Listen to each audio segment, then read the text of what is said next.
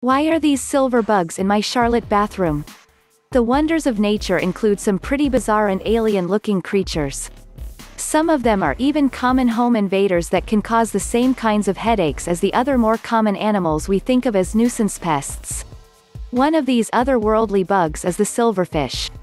They make trouble for homeowners all up and down the Atlantic coast. These bugs can move quickly and are excellent climbers, meaning they can easily get inside a home. Silverfish identification, they may be called fish but these pests are actually insects that move at high speeds and can survive for weeks without food or water. Some of their key characteristics include Color, silverfish get their name from the metallic appearance of their hard shells, which can be silver to brown or tan in color. Shape, silverfish are oval or tear-shaped, with long tails and two long antennae protruding from their heads. Size, while their tails and antennae can appear to add some length, silverfish don't normally grow longer than about a half inch in size, smaller than a nickel. What attracts silverfish into the home?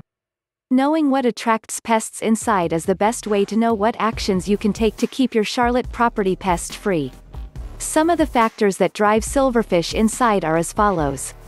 Moisture, humidity, silverfish thrive in humid, wet environments, so they are often drawn to places in the home where moisture builds up.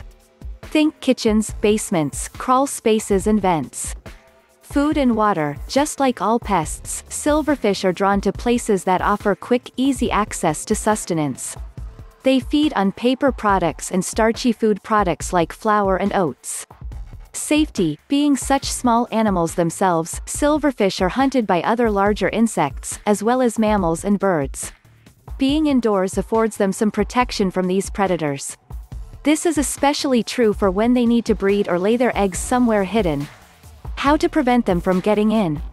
Silverfish populations can lead to some nasty problems, like odors caused by their pervasive, pepper-like droppings. They can also chew holes through household items and materials, like clothing and upholstery. Knowing how to prevent them from getting in is in every homeowner's best interest. Regular inspection, not only should you check the areas in your home that are attractive to silverfish, but you need to be diligent about checking products that you buy in stores. Silverfish are often brought inside the home via infested food or furniture that's purchased elsewhere. Moisture control, because they like it hot and humid, silverfish can be kept away by making sure that rooms are properly ventilated and that plumbing is in good working order. Preventing and maintaining areas with spills or pools of condensation is important. Maintenance, continuing the thought from above, any areas of a home with cracks, dampness or malfunction of any kind should be addressed. Pests can get in through cracks and holes, and faulty building materials will only degrade and become bigger problems down the road. Professional solutions work. With all these things to think about, household prevention or elimination can seem like a daunting task. Thankfully, you don't have to worry about going it alone. Professional methods, like those provided by Aruza Pest Control, are effective at eliminating silverfish populations and preventing them from getting inside in the first place.